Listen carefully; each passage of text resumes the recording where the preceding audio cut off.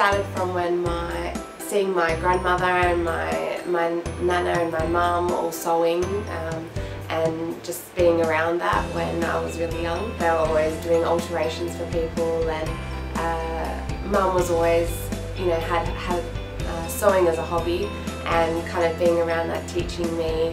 from school. Uh, I kind of, I remember always working with like a lot of lines and um, always referencing architecture back in my work at, from, from, uh, from time at Santa and then uh, I kind of,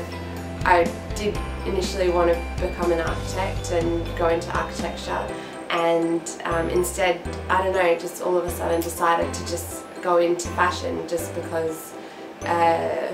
I think it was the design side of it. Going from uni, uh, we developed our collections and you know through all our hard work and from the help of all our lecturers and that we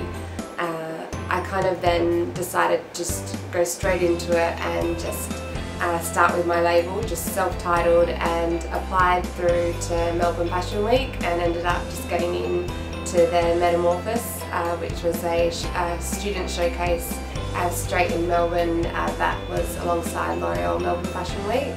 So what I enjoy most I think is just being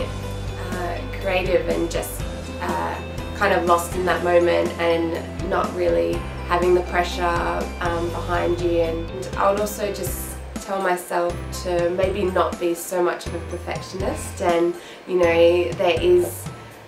beauty in imperfection and just to not put so much pressure on myself. And my parents were always really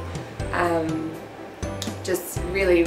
uh, put on to me just to do what I love and to always you know just yeah go with that.